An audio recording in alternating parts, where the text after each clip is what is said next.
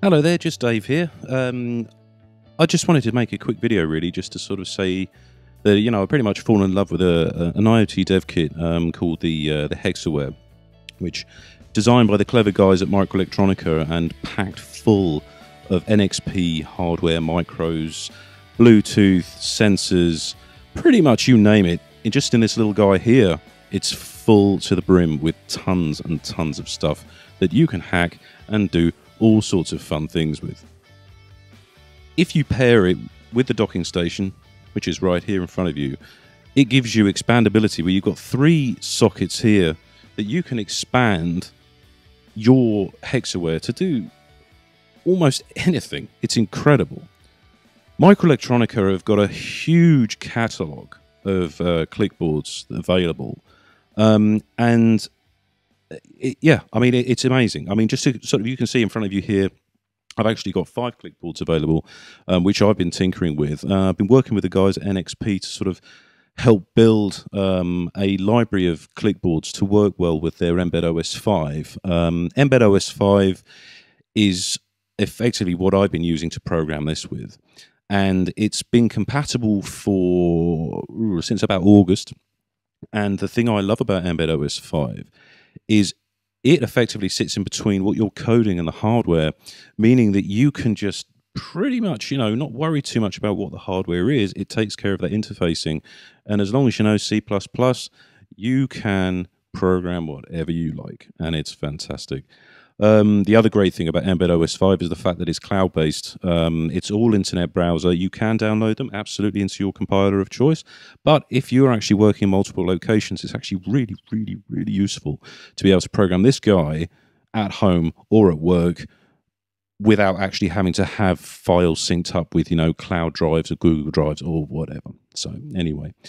Um, so, um, onto the clickboards, really. I mean, what we've got here are just a few of the things that I've been working with the guys at NXP to provide drivers for.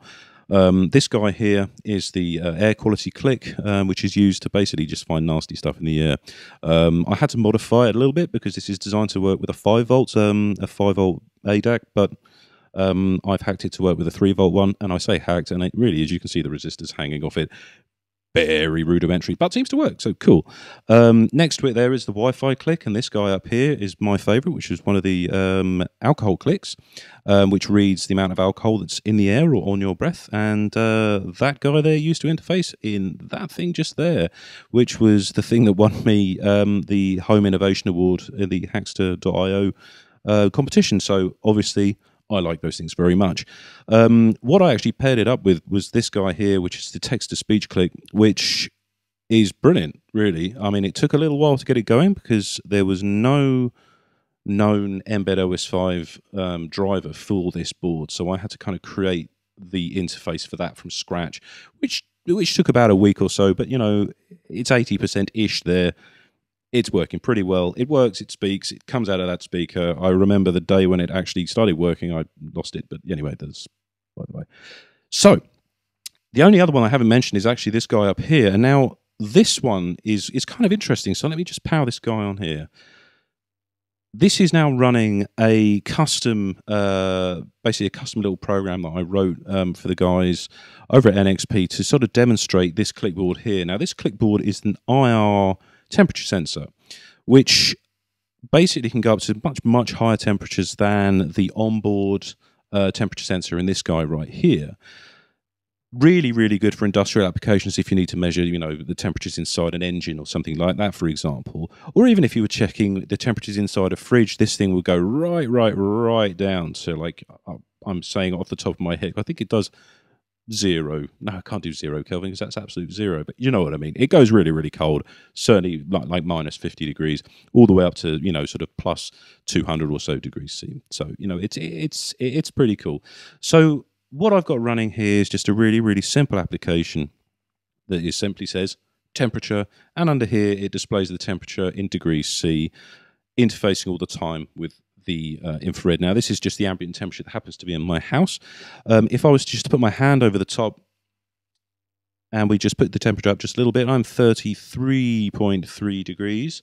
And as you can see, I've designed it in such a way that when the temperature changes, the image actually interacts with uh, the temperature. So I like to call this bit here the sun. And when it's kind of ambient, it's on orange.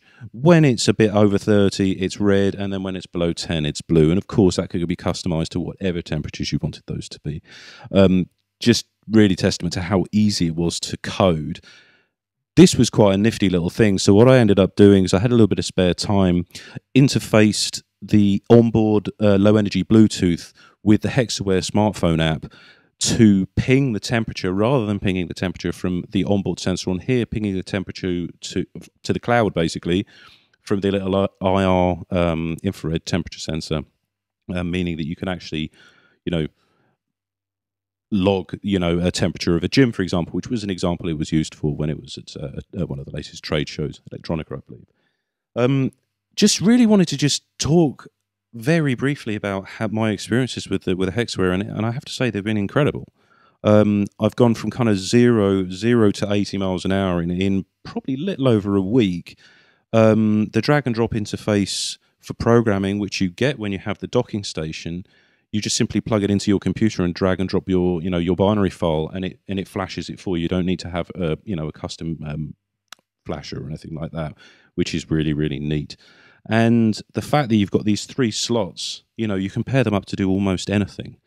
Really, I mean, if you look on uh, MikroElektronika's website, they have a huge catalog, almost hundreds and hundreds of different um, clickboards, and it's quite an ecosystem. You know, the ecosystems existed before the Hexiwear's come along, but Hexiwear is now such a place where if you are developing something that's IoT or you're developing even a wearable, this is such a great place to start because everything that is inside here are parts that can ship at scale uh, almost immediately which is you know as a as a, an electronics designer and r&d guy that's a really really cool thing to know. So i can actually develop something here with all of this kit reduce it down to the size that i want and it can be shipping you know super super quickly. So i mean it, uh, uh that's it. I mean i'm gushing a little bit about it but it has been an absolute pleasure to work with. Um, and I'm continuing to work with the guys at NXP completely unpaid. I mean, it's just just absolute hobby on my standpoint.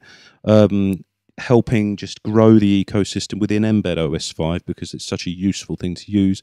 Creating drivers for you know this infrared um, temperature sensor, which runs on I squared C. Um, creating things for you know the the temp the uh, sorry the, the text to speech click, and Wi-Fi and so on and so on. So if you follow the either the GitHub or the Mbed OS 5 Hexiwear repository, you'll see in there that there is a growing number of example programs that you can just drag and drop and use straight away if you want to just get up and running. Um, that's pretty much all I wanted to talk about today. I've kind of gone on a little bit longer than I intended to, but I, I hope it hasn't been too massively boring for you. Um, but you know, if you have any questions about it, please, you know, feel free to get in contact. I mean, it's an absolute, you know, it's it's a really really fun thing to use, and I highly recommend it for pretty much anyone of any skill level. If you want to get super deep, you can get super deep. If you want to just do some simple stuff and blink some LEDs, you can totally do that. And it's just like blinking an LED is about five lines of code. It's super super simple. So that's it from me. Uh, thank you very much for listening. Um, thanks. Cheers. Bye.